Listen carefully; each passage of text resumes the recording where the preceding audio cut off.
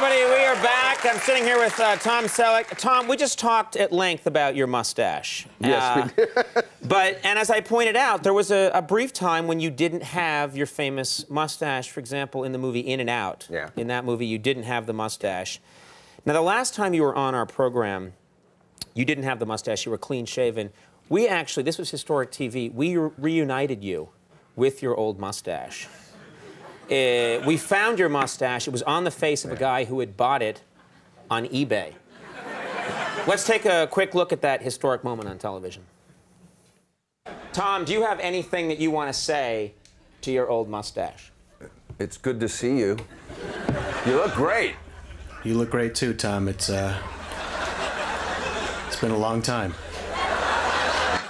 David, may I wear my old mustache?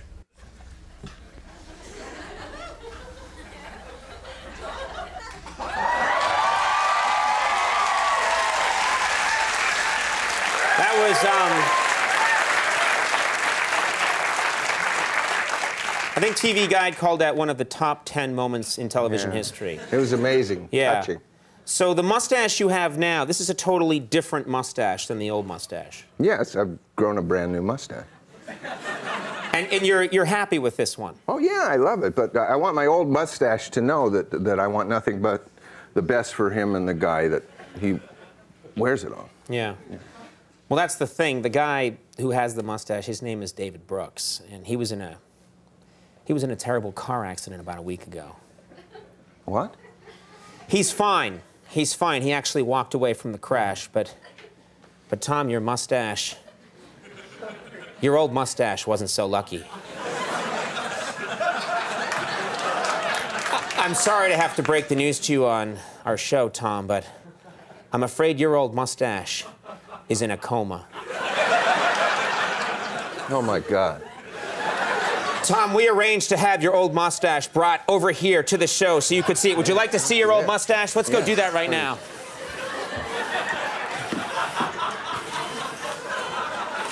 Oh my God. I can't believe it. Of course, Tom, you.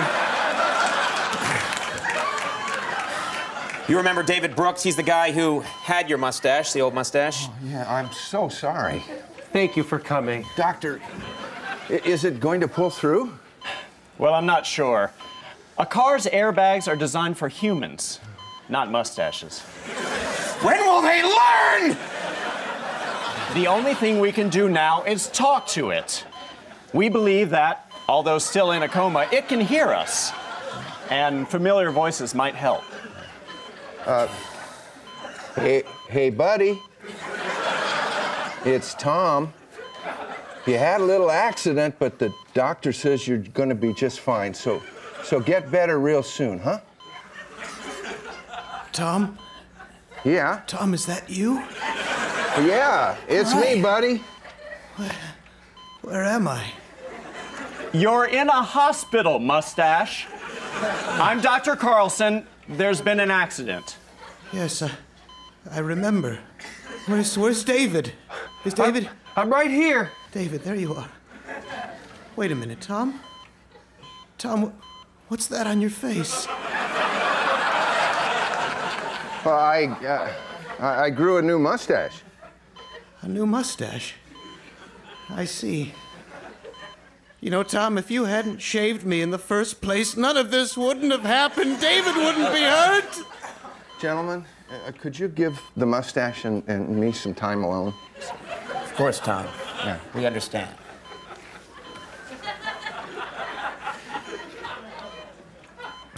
Tom, what are you. Tom, what are you doing? Tom? Tom, I can't. Tom, I do, why are you taking my tiny pillow? Tom, what is going on? I'm, Tom, I. Oh, I'm so sorry, mustache.